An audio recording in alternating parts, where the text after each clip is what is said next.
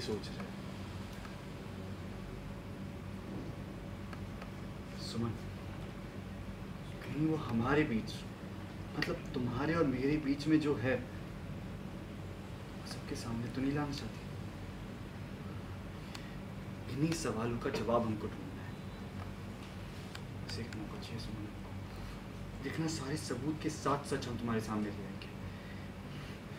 बस, तुम ना हम पे भरोसा करो पे विश्वास रखो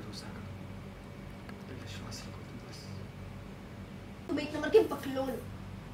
अगर तुम हमको मैसेज कल ही फॉरवर्ड कर देते तो तभी का तभी चाची और बाबूजी को मैसेज बताकर उस लड़की को घर से बाहर निकलवा देते। अब तक तो वो वापसी गाड़ी में बैठकर रो रही होती आँसू पी रही होती। हम भी ना एक नंबर के बखलोल पर अब क्या करें? यही बखलोल लिखा है तुम्हारी ज़िंदगी में लेकिन उनसे अपनी जान से भी ज़्यादा प्यार करते हैं। हाँ और